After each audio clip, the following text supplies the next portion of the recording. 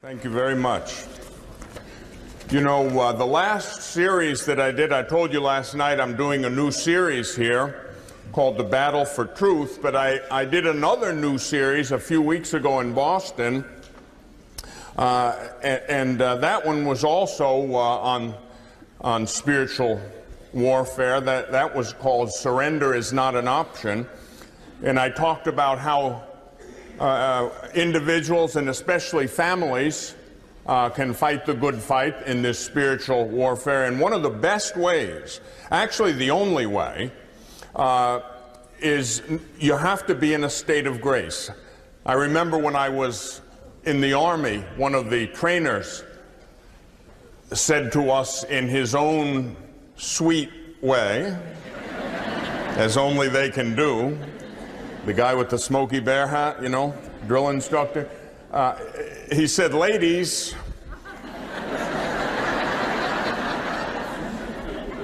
if you can't even get to the battlefield, how are you going to fight? And he was talking about physical training.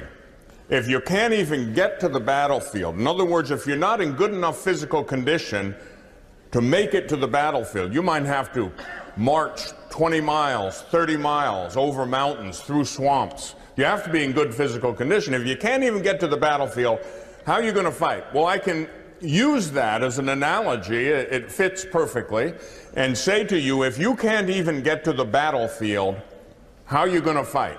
You must be in a state of grace to fight the good fight.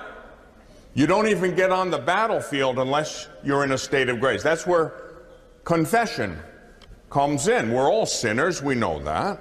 Uh, but we have a wonderful gift from God in the sacrament of reconciliation or penance, and uh, we should use it. Go to confession. You know, some, some of us maybe haven't been to confession in many, many years.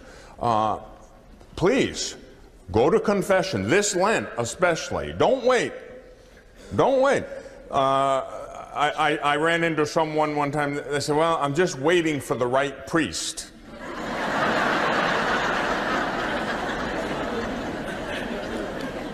she was 84. Don't wait any longer. Get with it. Okay. We have a lot of material to cover in a very short period of time. I'm going to rather rushed uh, to get through uh, as much as I can. We talked about the church as the guardian and teacher of truth last night. It is the church founded upon the rock who is Christ, but who grafted Peter into himself. The church is the only authentic and authoritative interpreter of truth, the Word of God. Uh, God gives a special charism to the church through her magisterium. The word magisterium means teaching office, and that's the Pope with the bishops united to him, teaching what Jesus taught to the apostles from the beginning. The church and the church alone recognizes the face of Christ. All kinds of people think they know Jesus. They have all kinds of ideas, sometimes conflicting and contradictory ideas about who Jesus is. I talked to you about the passage last night in uh, the Gospel of Matthew, chapter 16, uh, where Jesus said, Who do men say that I am? And then you got conflicting responses. Oh, some, some say Elijah, some say Jeremiah, some say one of the other prophets. Who do you say that I am? And one got it right. Only one Peter, Simon. Simon got it right. You are the Christ, the anointed one, Son of the living God. And Jesus named Peter his vicar. When Peter speaks in matters of faith and morals, meaning when the Pope speaks in matters of faith and morals, that's Jesus speaking through him in definitive matters of faith and morals. Most of the trouble, I would say all of the real trouble in the world is because inside of the church, we have frequently failed or refused to get it right. We have to get it right inside the church. We have to be obedient and humble and accept the teaching of the church. You know, people who just accept what they want to accept aren't exercising faith. They're not being faithful to God. Uh, it's not God's word that motivates them, it's their own opinion. Uh, St. Augustine was very clear about that. You know, if you only believe what you want to believe, that's not faith. Now, if I ask you a serious question, I know you're all good Christians and Catholics, and uh, I know you've studied your faith. You all have your copies of the Catechism of the Catholic Church. You, you watch my series on Sunday night on EWTN. And so you, you, you, you try to learn your faith. So if I said, what is the theological virtue of faith? Now remember, you know, here's a basic thing. This is a no-brainer, as they say, but it, go, it just goes over most people's heads. Whatever the discipline in life, whether it's physics, whether it's medicine, law, whatever it is, it, in order to be competent in that area, you have to know a certain body of knowledge. You can't just assume it. Um, same thing with the faith. Uh, we ought to know, we ought to have answers for questions. There's only one way to educate people. Uh, it has to be outcome oriented. If I have a class of second graders or high school students or university students, adults, whatever it may be, and I have the responsibility to teach them certain things, the only way I'm going to know if I was effective is by testing them.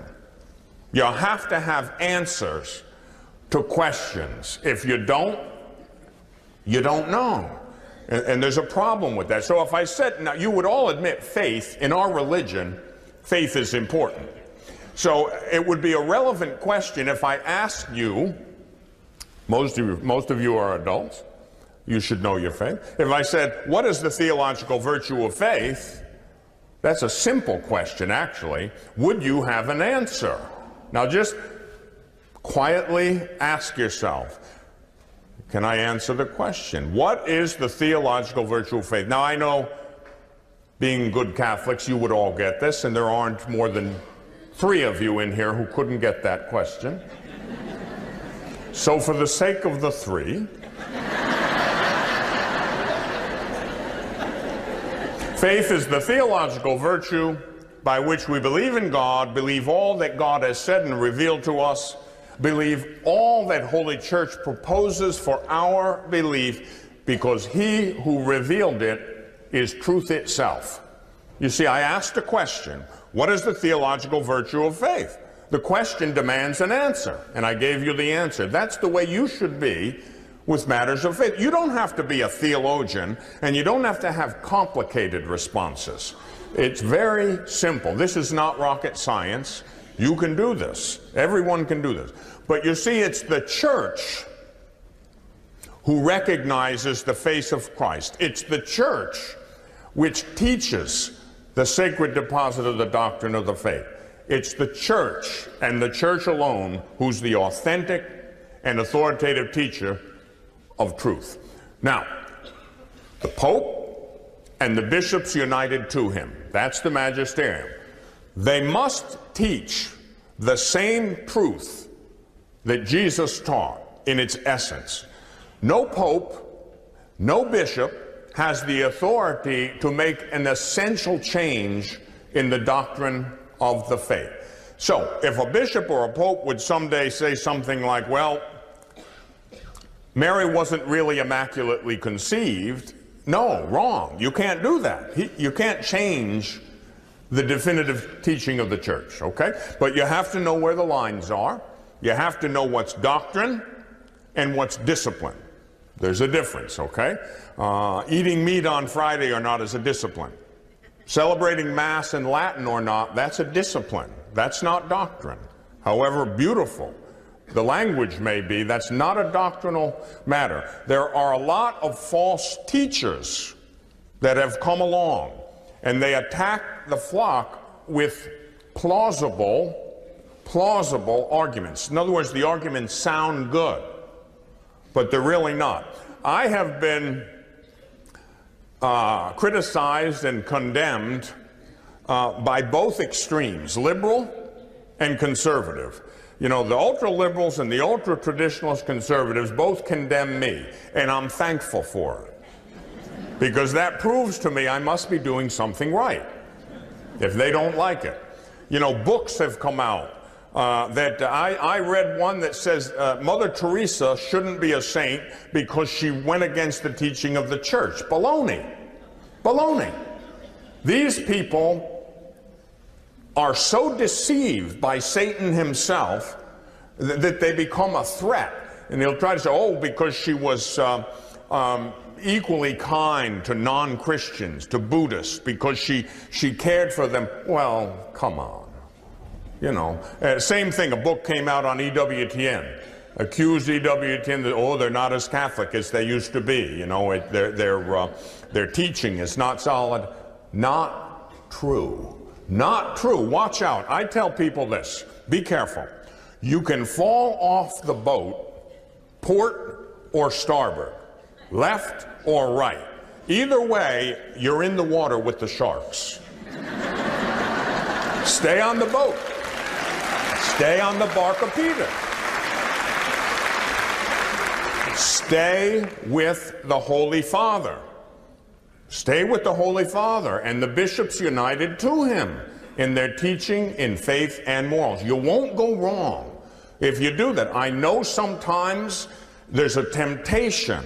Uh, I get upset, impatient, angry sometimes. You know, all of the recent popes were saintly men you know, that John Paul will surely be canonized. Now, the anniversary of his passing is tomorrow. And, and so we'll, we'll, try to recall uh, John Paul. Most of my preaching, uh, in one way or another, uh, is touched by John Paul's teaching. Uh, like all of us, he was our teacher, a brilliant teacher, a very holy man. Uh, and, and this, uh, I have his encyclical, which is part of the, the uh, substance of the material I'm presenting, his, great uh, encyclical, The Splendor of Truth, Veritatis Splendor, a magnificent document. So, Jesus, the truth, is given to us as a gift by the Heavenly Father. The truth equals Jesus. The truth equals the Word, the Word of God. In the eternal silences of the Trinity, God our Father spoke but one word, His only word, Jesus.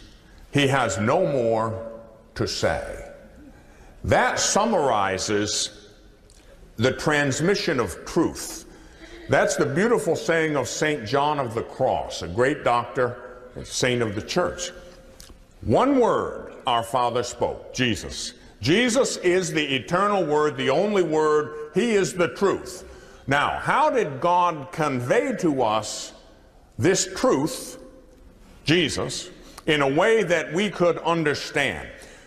In this segment, I'm going to talk about divine revelation and, and what it is. Don't, don't ever be confused or put off uh, by terminology or words. You don't have to be. Uh, it's not that complicated. Divine revelation. Now, that's a technical term. What does it mean? It's very simple. God our Father revealed himself to us in the person of his Son. That's the ultimate divine revelation. Um, God uh, revealed himself to us in, in, um, in, imperfect ways before, ways we couldn't quite understand, but we did understand some of through nature, right? Uh, you go out in nature, you see the beauty of nature, uh, and your, your mind can be lifted to God. You know, the ordering of the universe, even a scientist such as Einstein, who started out as an unbeliever, uh, ended up concluding that there must be a God. There has to be a prime mover, a first cause of all things. Uh, he was a truly scientific man. See, by, by engaging in uh, empirical science, his mind uh, was raised higher and higher and higher until finally he, he said, Look, there has to be a God. The universe is too ordered, too perfect, too beautiful for there not to be a God. That's authentic science. So, divine revelation. Let me read to you from the gospel, the prologue of the Gospel of John. Beautiful words. In the beginning was the Word. The Word is Jesus. In the beginning was the Word, the truth. In the beginning was the Word, and the Word was with God, and the Word was God. He was in the beginning with God, and all things were created through him, and without him nothing that was created was created. In him was life, and the life was the light of men. The light shines in the darkness, and the darkness has not overcome it. Jesus is the Father's Word. Whoever has seen me, Jesus says, has seen the Father. No one goes to the Father except through the Son. It's Jesus that reveals the Father to us. He is the truth. He is the light. Very often in the language of faith, when we talk about light, we're talking about truth. Okay? The light of the world is Jesus. Jesus equals truth. That truth illumines your intellect. Most of the world walks in darkness. Their mind not illuminated by the light of truth, not able to discern that well what's right, what's wrong, what's true, what's false. We need the light of Christ to make these discernments, these decisions. The darkness, however, in the end, the darkness could not, cannot and will not overcome the light. All right, that's our hope. Now, yes, things seem to be pretty dark right now. You look around the world, and, and uh, things are pretty dark. All kinds of, of uh, moral darkness, deception, lies, evil, uh, drug addiction, alcoholism, prostitution, pornography, abortion, wars here, there, everywhere. It's frightening. The darkness grows deeper by the day. I want you to remember this, however. Please remember this. No matter how dark the night sky grows, the darker the night sky is, the brighter the stars of heaven shine. And you are those stars. You are called to shine with the light of Christ. You have to reflect that beautiful light the splendor of truth, who is Jesus himself. What we're talking about here is not a philosophical abstraction, not a theological abstraction. It is hard to love an abstraction.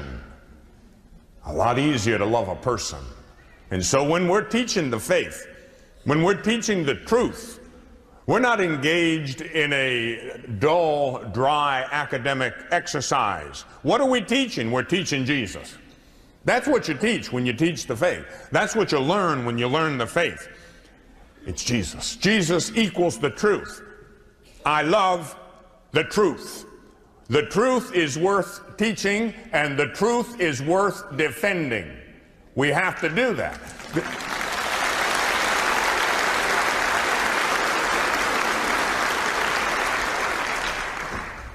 And, and in one way or another, we're all teachers.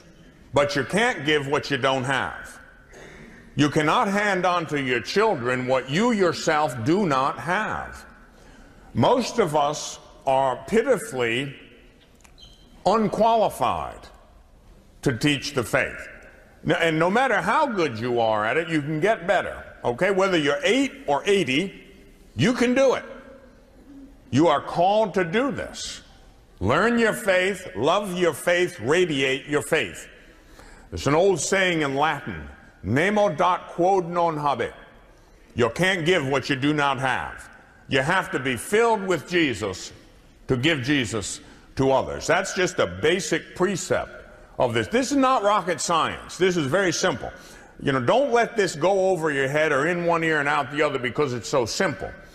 God, by definition, is pure simplicity, but not to us. We complicate a perfectly simple thing. You know, God is pure intelligibility, pure light by definition. But then when he passes through our intellect, we like to confuse a simple thing. You know, that's very often what so-called scholars do sometimes, and some of the people that pose as theologians, but really aren't. God is pure intelligibility, pure light. You know, sometimes you listen to some of these people or you hear a sermon and, uh, you know, you mean, wow, he must be smart. He understands that. I sure can't. no, he's not a good teacher. A good teacher conveys the material to the student. If the students aren't getting it, there's something wrong with the teacher. Now, uh, that, that's the fact. There are very, very, relatively speaking, very few good teachers. Now, there are some. There are notable exceptions. Great teachers. Great teachers in, in every discipline. There are great teachers of religion. Uh, but on a relative basis, they are few and far between. Now, a, a number of them know the material. It's one thing to know it, it's another thing to convey it. Two different things. How do you convey the teaching of the faith? Well, here's the key. You have to become one with the teacher. There's only one teacher, capital T. His name is Jesus. He said, you know, Jesus said it himself. You know, he's a rabbi the one teacher. Let him work through you. Get out of the way. really? Get out of the way. Very often, people get in the way. A teacher should be transparent. What does that mean? Well, a teacher shouldn't be opaque. In other words, egotism should not get in the way. Your sins should not get in the way. In order to shine with the light of Christ, in order for the light of Jesus, the truth, to pass through you to your students, to your family, your friends, and so forth, you have to be pure light. You, in other words, get rid of the sin, especially serious sin first. Get rid of that. And then seek to be as one with Jesus as you can be. In other words, like, like John the Baptist said, uh, I, might, I must decrease so that he might increase. Okay? So Jesus is the teacher. Humility is the key to unlocking the treasure chest of truth. No humility, no holiness. No holiness, no heaven. All of this, what I'm talking about, always circles back and converges at one question heaven or hell, truth or lies, good or evil, life or death, heaven or hell. That's really the only question. Are we going to heaven or are we going to hell? And, and you say, well, um, nobody would want to go to hell. Well, if they knew what it was, I agree with you. But people are easily confused. Uh, most people would not say, I prefer hell. But by their actions, they state that very clearly. You know, by their actions, they say, I don't want God. I don't want heaven. They reject charity. They reject purity. They reject decency.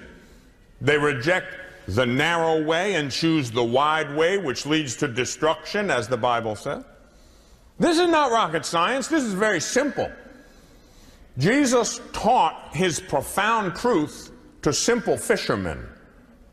It wasn't rocket scientists or, or doctoral uh, candidates and, and professors that had this truth revealed to them. Jesus gave it to simple men, you know, fishermen, tax collector, you know, simple, simple people. It's not rocket science. Simplicity and humility and poverty of spirit, detachment, and so forth, that's necessary. I'll tell you the one and only enemy of truth arrogance. The one and only enemy of truth is hubris, that self centered pride which seeks to exalt the creature above the creator. You have to be humble in order to have your eyes opened for truth. That's why I'll tell you something.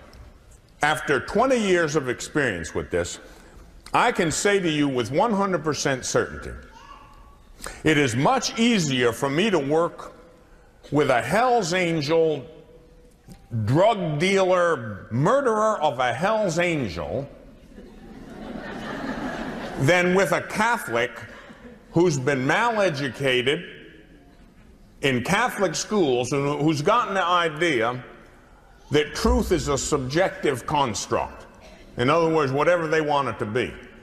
Uh, much easier to work with an out and out pagan sinner than it is to work with an arrogant Catholic who thinks they know something when in fact they don't. It's the kiss of death. That pride is the kiss of death. That, that's the original sin. Pride. You know, uh, the, the original sin basically was, was by the angels, Lucifer, right? He thought he was the source of his own glory. Lucifer, blinded by his own light, intellect, thought he was a smart guy, like my grandma used to say, too big for your britches. that sums it up. Too big for your britches. You know, you, you think you know everything, know it all, right? Hey, if a person knows everything, you can't tell him anything. Very simple. People get all filled up with, with themselves. And no humility. They think they know more than the Pope. You know, the Pope makes formal pronouncement, teaches the truth, and they reject it. In matters of faith, they think they're smarter than the Pope. That is right out of hell. That's right from the devil. And, and you, if you, you've got to get rid of that attitude if you have it. Okay, how does God reveal truth? Well, he revealed it in the person of his son. Well, how do we recognize the son truly, authentically? The church, the church teaches us about Jesus. Now, there is one word of God, the eternal word, Jesus. Our heavenly Father reveals Jesus to us in two essential ways. Two essential ways.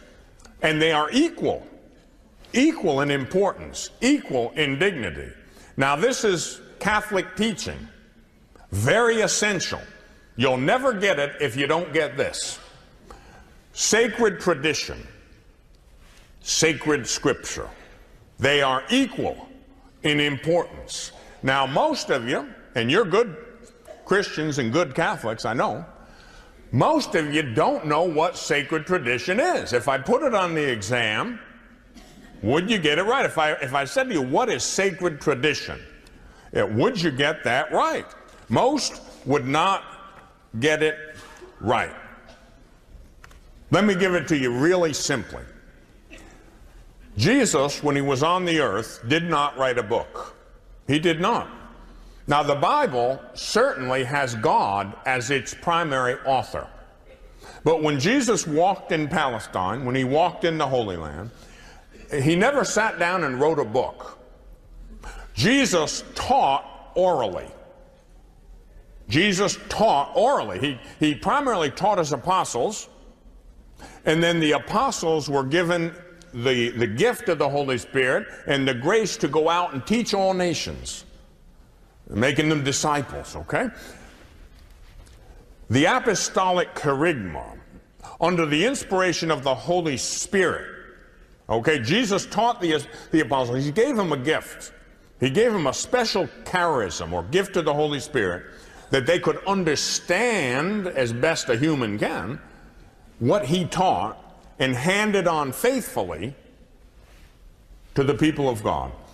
Sacred tradition is the oral teaching of Jesus Christ given to the apostles who are united to the, to the head of the apostles, Peter, the Pope, in matters of faith and morals, okay? Sacred tradition, the oral teaching of Jesus. Now, some of what Jesus taught, some of what Jesus taught orally was written down, okay, by the evangelists, by other apostolic men. Some of what Jesus taught orally was written down.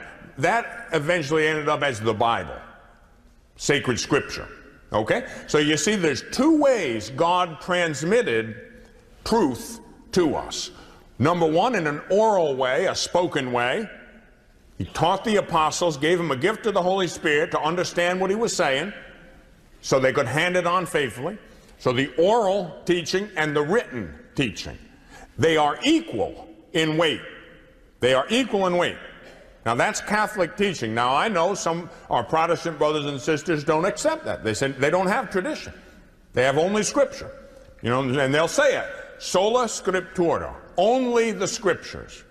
That's what they say. And then the response is, where in the scriptures does it say only the scriptures? And it doesn't. It does not. Now, all of it is useful for teaching. And, and, the Bible, you know, we got to love it and we've got to respect it and you've got to read it and you've got to pray it and you've got to live it. No question about it.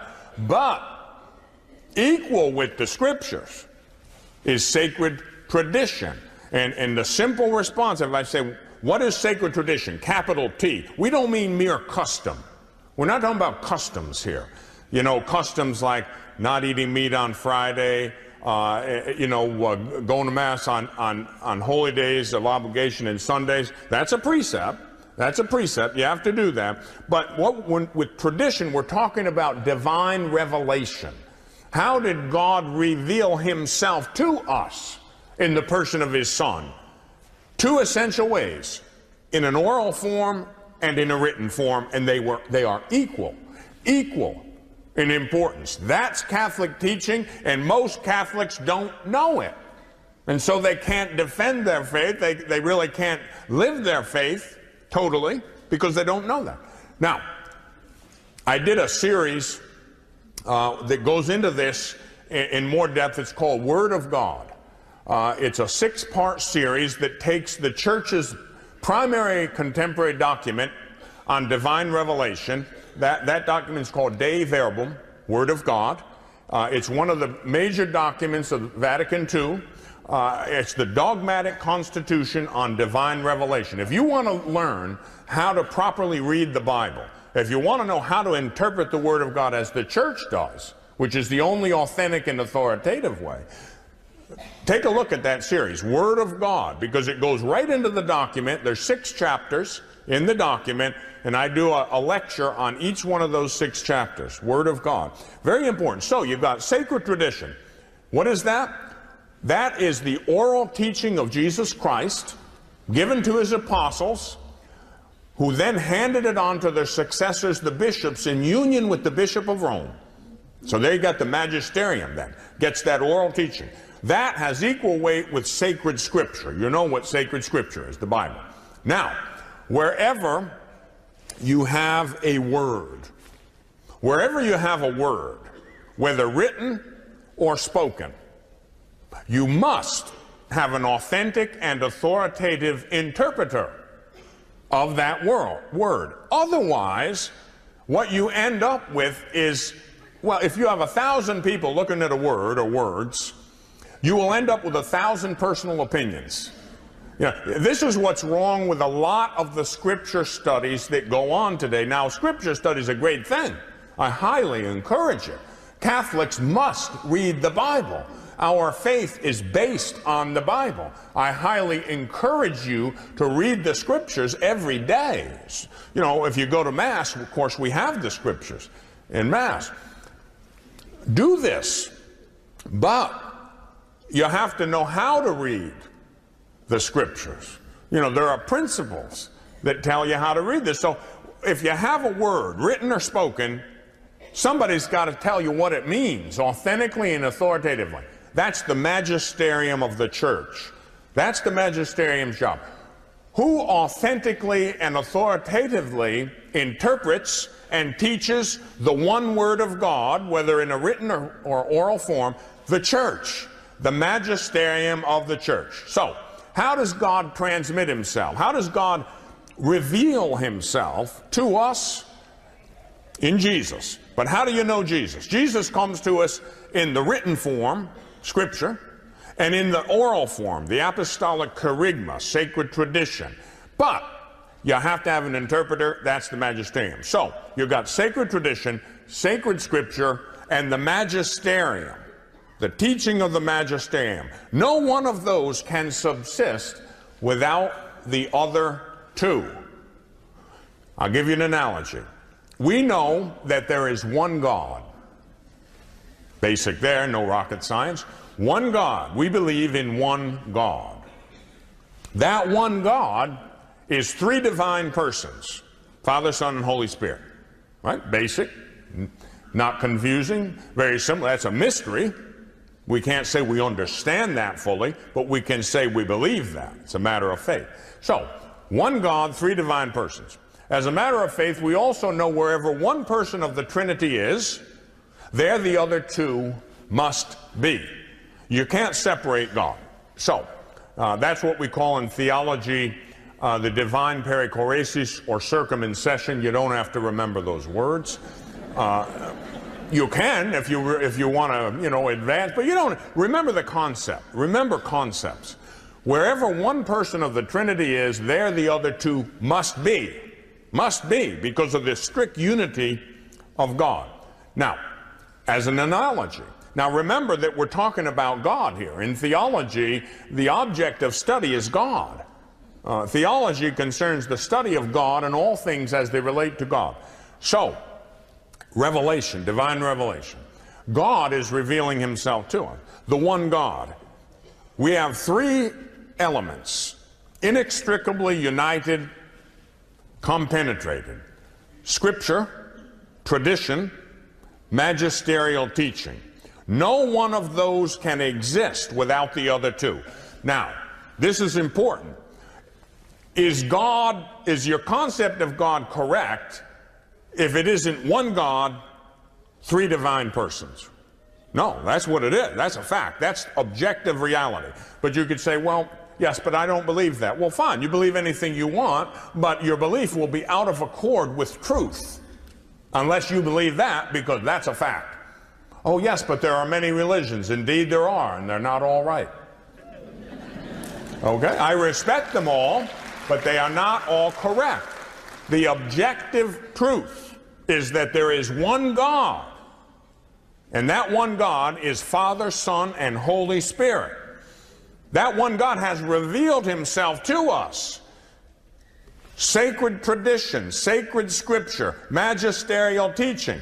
If you're if God is if you say God's only the Holy Spirit, can the Holy Spirit really be the Holy Spirit without the Father and the Son? No. No. You say only Scripture. Can that be true? No.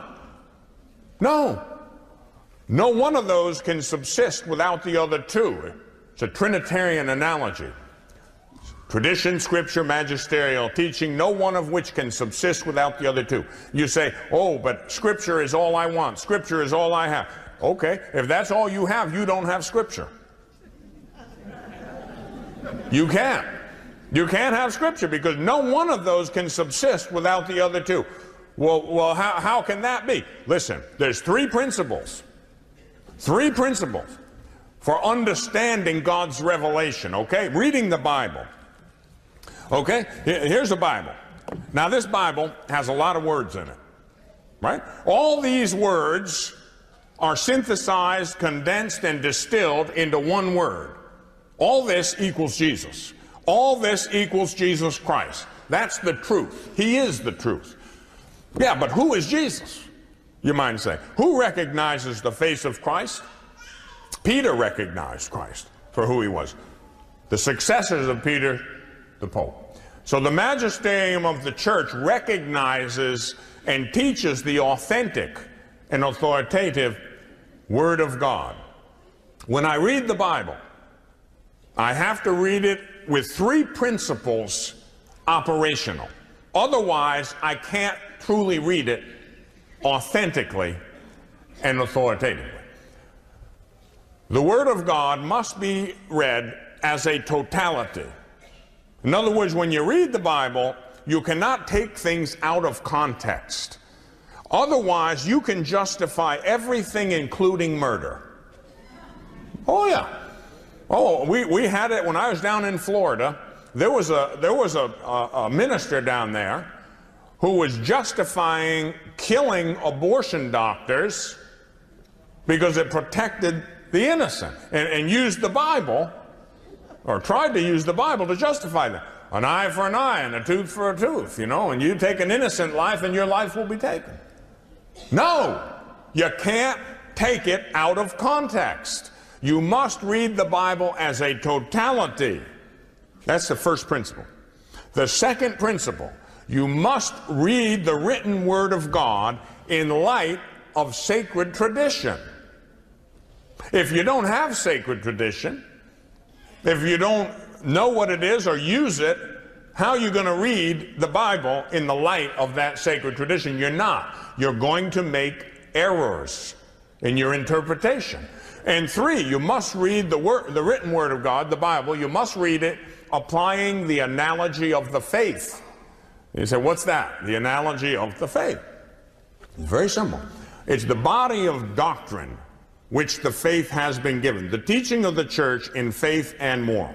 Okay, let's say uh, somebody takes the Bible and they, they say, well, Jesus in the Bible uh, is inclusive. He, he loves everybody. He does. Absolutely. And therefore, uh, it's okay to live a homosexual lifestyle. And they'll use the Bible to justify that. Wrong, wrong, wrong. They're reading the written word of God not in the light of sacred tradition, and they're not applying the analogy of the faith, and they arrive at erroneous, fallacious conclusions. You can't do it. And they, oh, you're bigoted. Nope, not bigoted. You're homophobic. Nope, not homophobic. Man, I've had a, a million conversations with homosexual persons. I love them. They are the children of God. And I'm not afraid of them. I tell them this you and I are very much alike. And they say, oh. no. No. You and I are very much alike because we're both called to celibacy. Now stop and think for a moment. Listen to what I just said. We're very much, I sympathize with your struggles. You're a child of God and God loves you. No question about that. And I've got to love you too. If God loves you, I've got to love you. I'm no better than God. Servant's no better than his master. Jesus loves them. And I have to love them, and you have to love them. But love is not confirming someone in their sins, taking the easy way out, patting them on the head and saying, You're okay, I'm okay. No, there's something wrong, something very wrong. This political correctness is the kiss of death to human dignity. And it's got to stop. So, you've got to know how to read the Bible. The, the people, they, they just don't get it. When you read the Word of God, once again, you have to read it as a totality. Don't take, don't take it out of context. Otherwise, an eye for an eye and a tooth for a tooth. That means, hey, uh, you know, my, my, my relative got killed by someone in a drive-by shooting. I'm going to go out and kill the whole gang. You know, an eye for an eye and a tooth for a tooth. No, that is not what the Bible says. You have to read it as a totality. And well, you're not sure what that totality is. That's why you have to read it in the light of sacred tradition. And you say, I don't know what sacred tradition is. I'm going to say it again. It's the oral teaching of Jesus Christ given to his apostles, who then, under the inspiration of the Holy Spirit, handed on that teaching faithfully to their successors, the bishops, in union with the Bishop of Rome, the Pope, as they teach faith and morals to the church. That's sacred tradition. The oral tradition, the written Bible, interpreted by the magisterium of the church. No one of those three can truly exist without the other two. There is no authentic Bible without tradition and magisterial teaching. There is no authentic tradition without scripture and magisterial teaching. There can be no magisterium without scripture and tradition, just like there can't be a God unless he's Father, Son, and Holy Spirit. Okay? So, so that, that's the analogy and that's the truth. That's how it works. Okay. The Word of God, remember, is a person. A person. The Word of God is Jesus. Uh, love your faith. Love the truth. Why? Because the truth, our faith, is Jesus Christ. And He is God. And, and the first commandment is to love the Lord your God with your whole heart, mind, and strength. And then to love your neighbor as yourself out of love for God. That is the definition of the theological virtue of charity. You know, if I ask you, what is charity? You will say, well, charity is the theological virtue by we love God above all things for his own sake, and we love our neighbor as ourselves out of love for God. Not rocket science. Love God above all things, not because of what he can do for us, but because of who he is. I love God above all things. Why? Because he's God. That's why. Not, not, not, God is not a slot machine where you put in a few prayers and hope to hit a jackpot. God's a lot more than that. We praise, worship, and adore God for His own sake. Okay, that's charity. I love God above all things for His own sake. And then I love my neighbor as myself out of love for God. It, it, you have to have all of that in place or you will not do it. One way to look at it is, first of all, I have to establish my relationship with God. You can call that the vertical dimension. Me, God. I've got to love God above all things. He's the creator. He's my father. Any good I have, every breath I take, because of God. Okay? The vertical dimension. Then, then I got to love my neighbor as my. I can't love you unless first I love God. Because in order to love you at all times and under all circumstances, I got to have some grace. and so do you, right? Eh, eh, eh, I mean, really, in order for us to love each other all the time, that requires grace. Where's the grace come from? God. So first I got to love God, and that establishes the vertical dimension. I love God, and then I can, I'm enabled to love my neighbor as myself. That's the horizontal. So you got the, the vertical and the horizontal. What, what do you have then? Cross. Then you got a cross. That's what it comes down to. In order to love charity, caritas, agape love, you end up with the cross. You know, during Lent, we're moving towards Holy Week, moving towards the Paschal mystery. How did Jesus save the world? Like that, on a cross. That's what we get when we love God above all things and our neighbor as ourselves. You'll get a cross. No cross, no crown. No pain, no gain. No goal, no glory. Good Friday precedes Easter Sunday every time. And so we're going to live that. We're going to live the cross. That's the way it is. Let me read to you the prologue from the uh, beautiful uh, document, the, the Divine uh, Constitution, uh, or rather the um, Dogmatic Constitution on Divine Revelation from Dei Verbum, one of the primary 16 documents of the Second Vatican Council. Hearing the Word of God with reverence and proclaiming it with faith, this sacred synod, Vatican II, a search to the words of St. John who says, We proclaim to you the eternal life which was with the Father and was made manifest to us. That which we have seen and heard, we proclaim also to you, so that you may have fellowship with us. And our fellowship is with the Father and with his Son, Jesus Christ.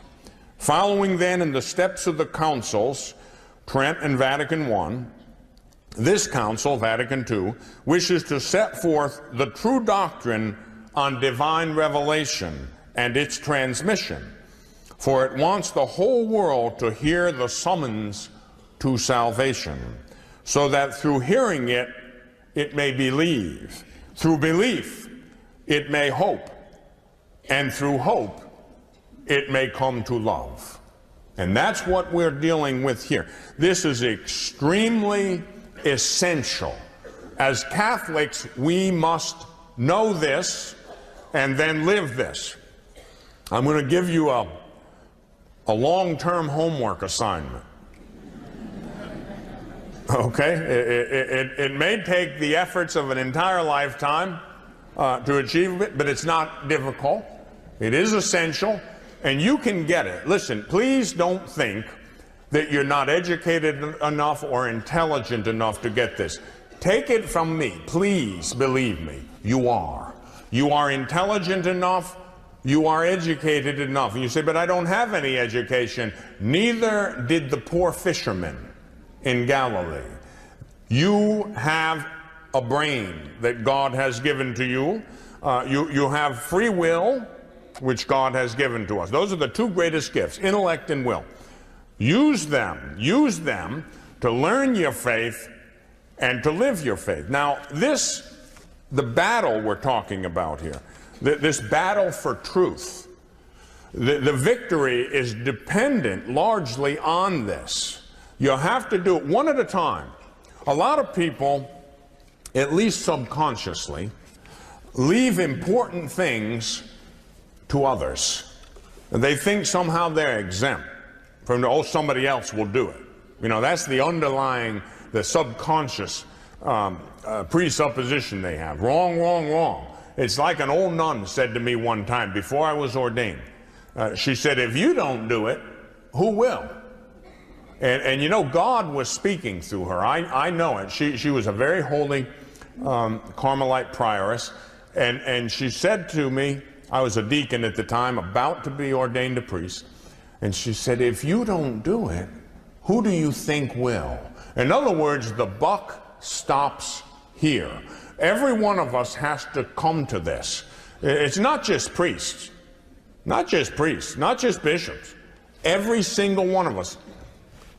Every baptized person has a mandate from Christ to be, in a certain sense, priest, prophet, and king. We have to live out the life of Jesus Christ. We all have to absorb Jesus, become one with him. It's a, it's a mystical marriage. The two become one. Jesus and the soul become one. Uh, it, it's like uh, what, what, what Jesus said to Peter. Um, when you speak, it's me speaking through you. Well, whatever you hold bound on earth will be held bound in heaven. Whatever you loose on earth will be loosed in heaven. The church has that, that power. You have, in a certain sense, through your baptism, you have a great power. You have a great power to save your soul or lose it. And you also have great power through the grace of God to help others save their souls or lose their souls. Let me tell you something. No one goes alone. No one goes up or down alone. We all go taking a host with us. Your life has influence on other people. Your decisions have influence on other people. Parents have influence on their children. Children, you have influence on your parents, on your friends, on your teachers. Everyone has influence on other human beings. In virtue of our life, we make a statement. We make a, an eloquent statement by our life. Two ways, the Bible says, two ways are set before you, O man the way of life and the way of death, the way of truth and the way of lies the way of good and the way of evil, God's way, the devil's way. Two ways are set before you, O man, the way of life and the way of death. Therefore, choose life. In other words, get it right. Do the right thing. Learn your faith. You have something to build on. You know your faith. You, you know the basics of it. You know the essence of it. Now build on that. Learn it more. Listen, take a few minutes every day to, to pray, read the Bible, read the catechism. You know, the means of social communication have been given to us as a gift from God. Now, in a sense, they're neutral. Uh, books, television, radio, the internet, these are tools, weapons, means. They can be used for good or for evil, for truth or for lies, for life or for death. Uh, the things in themselves are neutral. I learned a long time ago that we, well, the, the church told me, and my superior told me, we have to use the means of social communication, and that's what you will do in your life. We have to preach the gospel by using the means available. Let me tell you something. I can come here and talk to a couple thousand people, and that's a good thing to do. But I can also go on television with less effort and talk to tens of millions of people. Boom, just like that. And that's what we do. You know, my shows go to over 110 nations all over the country. I'm on radio all over the world, shortwave radio. Uh, Catholic radio in the United States is increasing by leaps and bounds. I can't go any place anymore without being recognized. We have to do that. The internet. Listen, if, you've resisted the computer generation as I did, you know, I feel, oh, I'm an old guy, you know, I'm old school. I, I don't want to bother, you know, hey, you know, I, I get around okay. Baloney, man. Once I got computer literate, and, and, and my people, you know, my goddaughter, who was my office manager, and, and her husband now, who, who works with us, um, they pushed me and pushed me. You've got to get a website. I am a priest. What do I need a website for, you know? Um, got to get a website, got to get a website. So I got a website. And, um, you know, I was worried about, gee, how am I going to pay for it, you know? Uh, it costs $30,000 to, to have it designed and do it right and so forth. Oh, you know, the older you get, the tighter you get, you know? I don't know if you've noticed that, but I, that, that's the case with me anyway. You know, man, I'm tight with a nickel. And, and, I, and I, oh, I, I just don't want to do that. I can't afford that. I can't do that. Oh, you got to do it anyway. Well, we have over 100,000. Now, now listen, you know the average parish might have a thousand, no, not even, 500 families, 600 families. You know, you might have, if they're going to church, you might have a thousand people, 2,000 people active in a parish, right? Over 100,000 people a week come to my website. Now, you'd be hard put to find a parish with 100,000 folks. They wouldn't be coming if I didn't have it. They wouldn't be coming if I didn't have it, and they wouldn't be getting the teaching unless we made it available on television, radio, internet, books, CDs, DVDs. We do that all. Why? Why? Do we do that all because we like, uh, you know, being in business, selling stuff? No. We do it to spread the gospel. If we don't do that, the God, we won't be doing our part. I would rightly consider myself negligent derelict in my duties if I did not fully use the means of social communication to get the truth out to the people. But because we're doing that, I'll tell you the way I look at it. I, am very military in my orientation. You know, somebody, I'm, I'm even wearing black BDUs. You know what BDUs are? BDUs, battle dress uniform the, the Cardinal Archbishop of Boston, when I gave my, my series, uh, uh, Surrender is Not an Option, uh, I, I, came attired in BDUs. And he said, Father, you're wearing army clothes. I said, That's right, Bishop. When I come to a battle zone, I'm ready.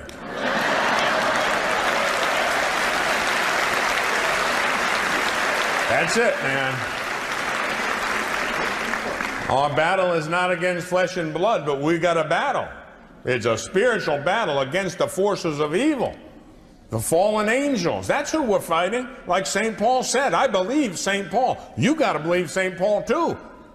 It's necessary. That's the Word of God. Our battle's not against flesh and blood, but against principalities and powers. That, those are choirs of angels, fallen angels. Against the rulers of this present age of darkness, the spiritual hosts of wickedness in regions above. Therefore, put on the whole armor of God that you may be able to stand in the evil day. Take the shield of faith and the two edged sword of the Word of God. Go forth into battle. Fight the good fight, run the race to the finish line. And then, my friend, then I promise you, you'll stand before Almighty God and you'll hear these beautiful words Well done. Well done, my good and faithful servant. Now at last enter into the joy of your master's house. God bless you.